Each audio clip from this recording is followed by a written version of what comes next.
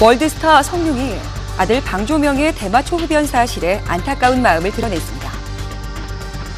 성룡은 지난 19일 현지 언론과의 인터뷰에서 아들의 대마초 흡연 사실을 알았냐는 질문에 아들의 나쁜 습관을 미리 알았다면 죽도록 때렸을 것이라고 전했는데요.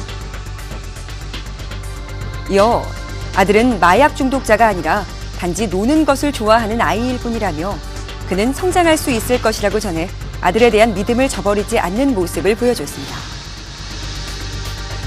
한편 성룡의 아들 방조명은 지난 8월 베이징에서 대마초 흡연 및 마약 장소 제공 혐의로 체포됐습니다.